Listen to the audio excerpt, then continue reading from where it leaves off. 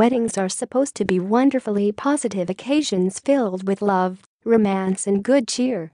A chance for two families and two sets of disparate friends to come together as one to celebrate the union of a happy couple.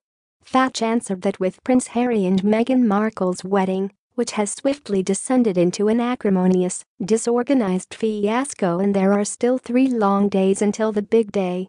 Most of the blame for this falls on Meghan's family, who have conspired to behave like a bunch of repulsive PR-crazed Kardashians, exploiting their girl's royal romance for as much money and residual fame as they can squeeze out of it. From the moment Harry and Meghan went public with their engagement, barely a week has gone by without ever tackier revelations exploding from the Markles. It's been the most outrageous, uproarious family reality show in town. We've had the drunken, violent, drug-addled, estranged half-brother Thomas Jr. penning viciously worded letters to Harry demanding the prince dump his narcissistic, shallow, selfish sister.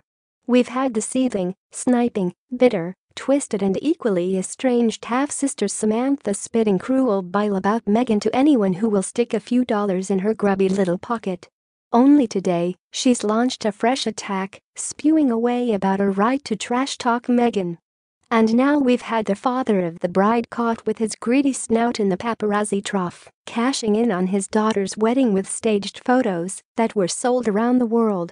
As best-selling romantic novelist Lisa Kleypas said, weddings are never about the bride and groom, weddings are public platforms for dysfunctional families. I just never thought the day would come when a family marrying into the royal family would be more dysfunctional than the royal family itself.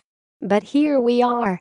Unlike many seem to, I have little sympathy for Thomas Markle, there's absolutely no excuse for what he did in taking money from a paparazzo to stage those photos. Not least because in doing so, he made Kensington Palace look utterly ridiculous. Prince Harry's own communications director sent out stern warnings to the media ordering them to back off Thomas Markle after seeing the photos and wrongly assuming he'd been the victim of a cruel invasion of privacy. In fact, Mr. Markle was invading his own privacy for a big fat check. Now, you might think he'd have learned his lesson, kept his head down and tried to rescue the last remnants of his dignity, if only for the sake of his poor daughter. And you would be wrong. Instead, Mr. Markle's doubled down on his idiocy. Since the Mail on Sunday exposed his cringe-making sham, he's been sharing his thoughts on an almost hourly basis with TMZ, a fine showbiz website but not previously noted for their expertise on the inner workings of British royalty. First, he told them was mortified by the embarrassment of the story. Then he claimed he'd had a heart attack last week, so wouldn't be attending the wedding. Yesterday, Mr. Markle was back with more exclusives. He'd changed his mind and wanted to be at the historic wedding. Then, last night, he told TMZ he now needed urgent heart surgery, so wouldn't be able to go after all. TMZ, perfectly understandably, has splashed these juicy revelations across its site and generated huge clicks and attention for itself in the process.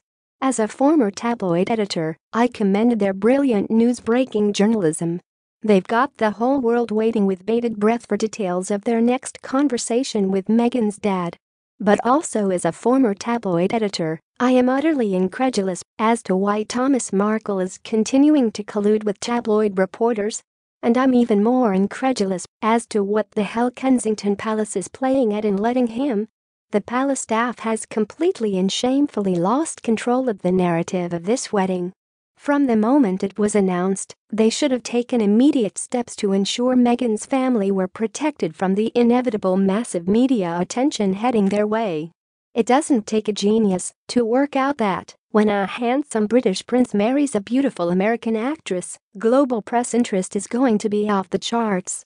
Yet Thomas Markle, currently the world's most famous father of the bride, has been left to fend for himself 8,000 miles away.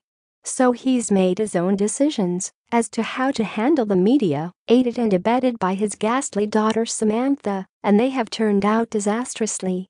Why on earth didn't Kensington Palace either send people to Mexico to advise him or fly Mr. Markle to London? It's not as if Harry and Meghan can't afford to put him up for a few weeks, they're both rich and live in a giant palace full of spare rooms and servants. The result of this farcical incompetence is that Meghan's had to spend the most stressful week of her life with a hundred times more stress than she could have ever imagined. I imagine she's been utterly distraught at his father's conduct. There have been reports of her tearfully begging him on the phone to change his mind and walk her down the aisle. What a terrible situation for any bride to find herself in. I also imagine that Harry's been utterly furious. For someone who hates the paparazzi and tabloids to see his soon to be father-in-law in cahoots with the paparazzi and tabloids will have enraged the headstrong young prince beyond belief.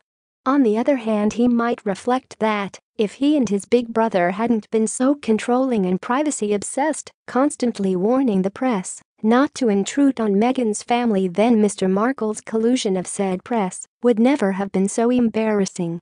This will be his and the palace's worst nightmare, a major player in the biggest day of his life going rogue. Perhaps things will sort themselves out by Saturday, but I doubt it. From the sound of things, the only member of Meghan's entire family who will be there is her mother, who is also the one that so far kept her mouth shut and behaved with decorum. That fact alone would fill me with deep concern if I were the royals. Who are these Markles? What further mayhem are they going to wreak, especially now they've all been snubbed from the wedding? Hell, as we've already seen, have no fury like an estranged relative scorned. I don't think Harry and Meghan can escape some blame here.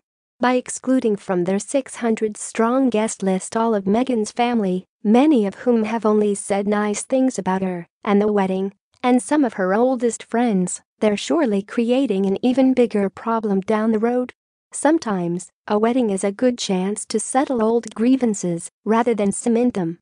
They're now going to have a lot more disgruntled Markles bristling with anger at being snubbed, especially when they see celebrities like the Beckhams sitting in their seats in the church. So the Markle reality show will roll on edifyingly on, and the palace appears worryingly impotent and incompetent in its efforts to control the tidal wave of techie titillation cascading from their lips.